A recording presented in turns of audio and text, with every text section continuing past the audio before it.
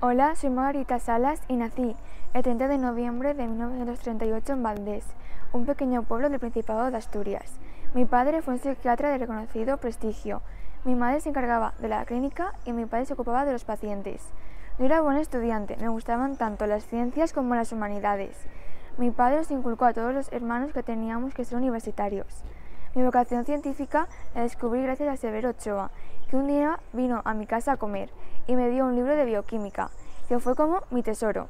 A partir de ahí acabé los estudios en Madrid. Severo Ochoa era muy sencillo y riguroso con su trabajo. Yo, como quería dedicarme a la ciencia, salir de España era una necesidad, porque no quería que se me reconociera como la mujer de, sino por mi trabajo. invention was the use of the Phi29 DNA polymerase for DNA amplification.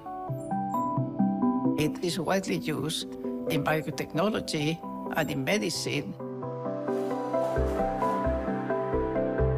When I finished my PhD thesis, I decided to go to New York with the Nobel Prize winner Severo Ochoa, where I spent three years.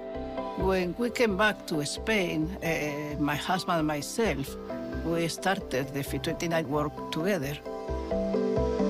After a few years, uh, my husband, that was very generous and wanted me to be independent, decided to quit the Phi29 work and start a new, a new work by himself so that I could be independent for the Phi29 work.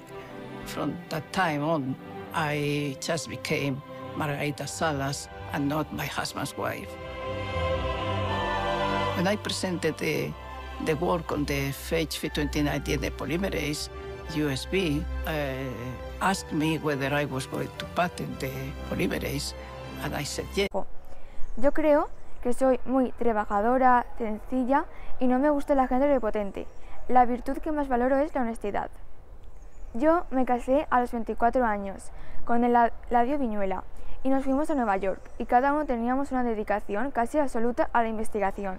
Por eso decidimos posponer mi maternidad y tuve mi primera hija a los 37 años. Fue muy poco ama de casa ya que mi madre me cedió a la que había sido mi niñera. Ella fue la verdadera ama de mi casa.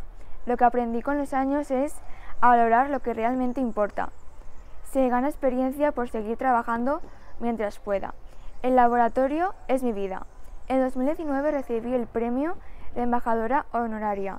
En 2019 el premio Alimentor Europeo, entre otros, pero lamentablemente morí el 7 de noviembre de 2019 en Madrid por una parada cardiorrespiratoria.